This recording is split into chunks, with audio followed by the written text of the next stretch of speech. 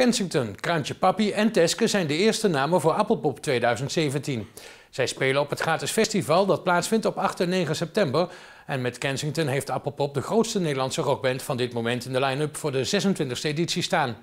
Kantje Papi heeft met zijn goed ontvangen nieuwe album het komende festivalseizoen dikgedrukt in zijn agenda gezet. Zangeres en vlogger Teske heeft met haar online kanalen in zeer korte tijd al een grote en jonge fanbase opgebouwd en is de veelbelovende act voor 2017. Appelpop biedt met deze eerste namen wederom een programma die een combinatie laat zien van de top uit de Nederlandse muziekindustrie, het clubcircuit en opkomende talenten.